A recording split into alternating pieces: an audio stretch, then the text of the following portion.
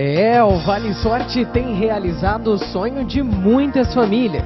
Na última semana, o apresentador de Nossa Gente, João Carlos, foi até o município de Japurá registrar a entrega de mais um prêmio. O sortudo foi o senhor José da Silva Souza, de 48 anos, muito conhecido na cidade, e recebeu um cheque no valor de dois mil reais.